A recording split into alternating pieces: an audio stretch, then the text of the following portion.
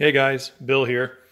So I bought a new RC car this year, just got into it, and uh, the salesman sold me on these Traxxas batteries and charger because of the ID feature. Um, basically, I've got a, a, young kid, and I didn't want him to be able to accidentally blow the battery up by not having it uh, charge at the LiPo rate, and this thing makes that foolproof. Um, looking back, I probably would have got a different battery and a different charger, but uh, anyways, one of the things with these Traxxas batteries is they make no mention of checking the cell voltage or balance. They try to sell you a, a adapter and a little doohickey to do it, whereas on a normal battery you just check the the balance plug. Um, and really, you can do the same thing here. I just didn't see any YouTube videos on it, so I figured I'd throw one up. Really, this has a built-in balance plug. It's this little thin wire right here next to the black negative wire. And it just goes up to this little thin metal plug right here, right on the very end. See that little one right there where, where tip of my finger is? And that's really the balance plug. This is a 2S battery, so it's got one. If it was a 3S battery, there'd be another one over here on this side.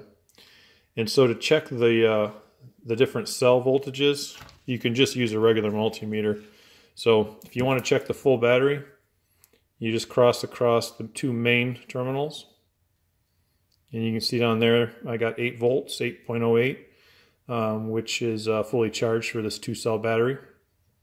And if I want to read the individual cells, I just need to go in here and tap into that corner plug that I showed you earlier, where you can see it in there.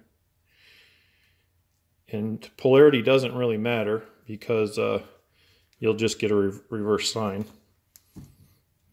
Sorry, trying to fiddle around with this thing. But now you can just go ahead and check one side. You can see I measure 4.025 volts on one cell. And then on the other cell, it'll be the opposite sign because I haven't reversed my polarity.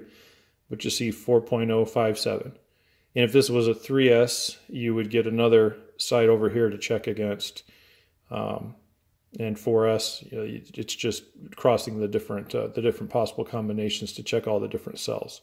So that's all there is to it to check the um, to check the individual cells and see if you've got a bad one in a battery pack. You don't need the uh, special Traxxas uh, adapter and checker. Thanks.